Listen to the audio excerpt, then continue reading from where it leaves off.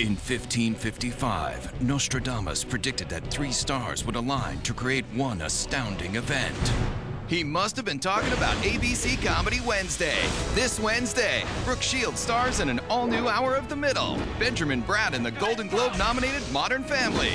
And in their first reunion since Friends, Hi, Jules. You need more Chardonnay and better Chardonnay. Lisa Kudrow joins Golden Globe nominee Courteney Cox in Cougar Town. You need to take your perky dial and turn it down a few thousand notches. It is so on. Then, an all new episode of Ugly Betty on an all new night. Ow! All of your favorite comedies starting at 8, 7 Central. Come on! The coolest night ever. Wednesday on ABC Comedy Wednesday.